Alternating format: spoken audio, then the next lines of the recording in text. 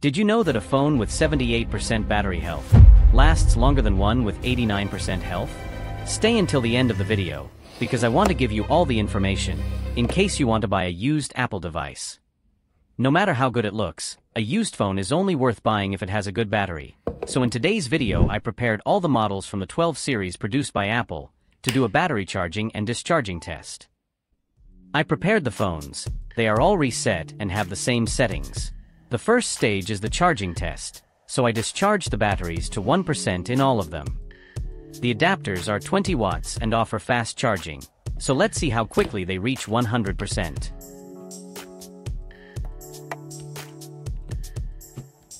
After connecting each phone, I turn on the socket and the timer so the charging starts at the same time for all of them. The screens are turned on so that we can see together the evolution of each phone. Many people wonder if fast charging affects battery life. It was discussed on different forums and opinions are divided. My opinion is that if you can charge with a slower charge, is more beneficial than charging fast. However, an alternation between the two does not hurt, so when you are in a hurry use fast, and at night use slow.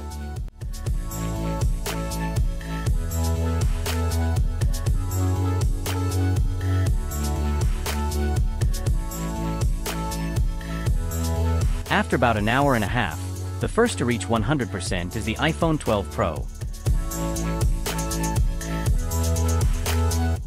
Followed by the 12 mini model which reaches full charge after 1 hour and 48 minutes. And very close to it is the iPhone 12 which reaches 100% after another 2 minutes.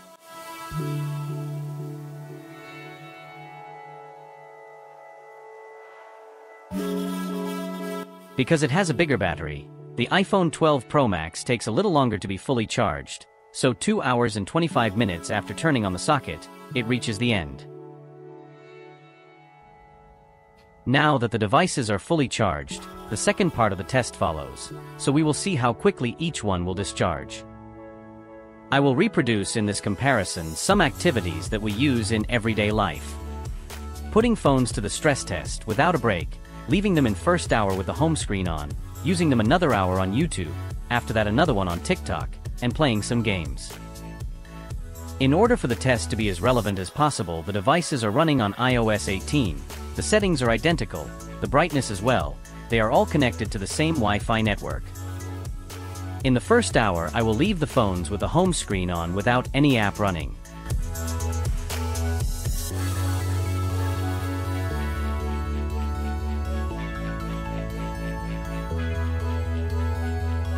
After the first 60 minutes have passed, we have the iPhone 12 Pro in the last position with 9% lost, followed by the 12 mini and 12 Pro Max which are equal with 93% remaining, and in the first position is the 12 with only 3% lost. Now let's move on to the second phase which consists in playing video on YouTube at 1080p resolution.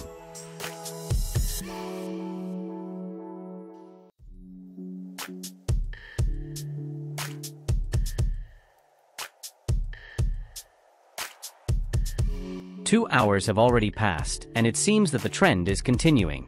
On the last position remains 12 Pro with 69%, followed by 12 Mini and 12 Pro Max, and the first remains 12 with 83% remaining. One of the best games on smartphones that many love is going to run in the next hour, so I start PUBG Mobile and try to play on all devices.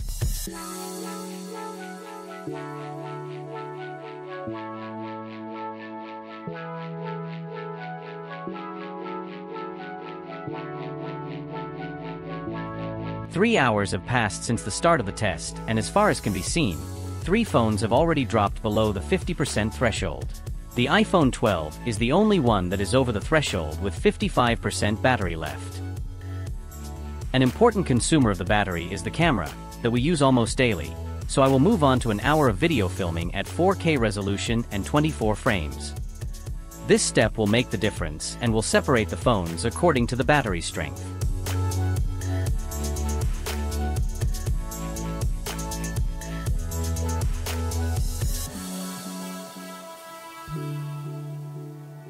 As I expected, this step exhausted the battery of the iPhone 12 Pro, this being the first phone that shuts down and does not reach the threshold of 4 hours of continuous use.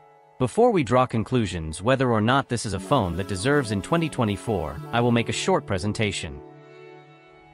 With a fairly low battery health, this iPhone 12 Pro lasted 3 hours and 54 minutes, so if you are thinking of purchasing this model, you should consider replacing the battery.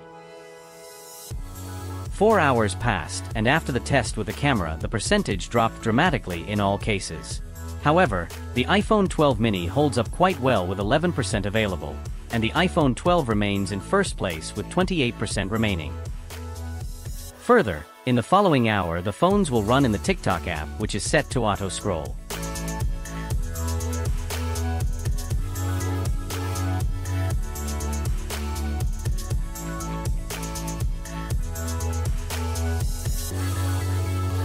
The second to close is the iPhone 12 mini. With an extra hour of operation compared to the iPhone 12 Pro, it offers quite good autonomy, but let's see the specifications so we can draw conclusions. With a fairly good battery health, the iPhone 12 mini approached the 5-hour threshold, closing at 4 hours and 55 minutes from the start of the test. If it's a good result or not, I'll leave it to you to decide by leaving a message in the comments. Five hours of continuous use have passed and the iPhone 12 and 12 Pro Max have resisted, approaching full discharge. I will continue to play on both until they close. When it comes to the battery of a device, there is no need to purchase new products to be able to enjoy a pleasant experience, it is enough to choose a suitable model according to the budget.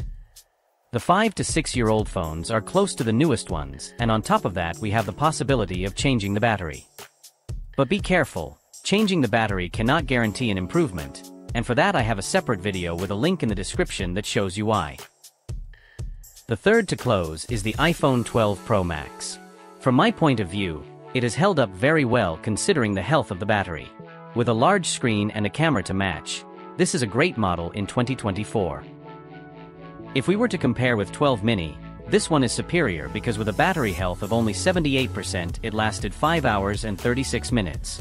This is definitely worth buying, especially if you find it in good health. There is only one phone left in the test, and this is the iPhone 12, so we will see how long it will last and what its specifications are. We can make a statistic based on the final results, taking into account the specifications of each. The last one has also closed, and now let's draw conclusions. With a battery health of 87%, the iPhone 12 reached almost 6 hours of continuous use. It lasted 5 hours and 58 minutes, being an excellent result. My conclusion after this test is that the best model in the 12 series is the 12 Pro Max, the second 12, followed by the 12 Mini and 12 Pro. Which model would you choose?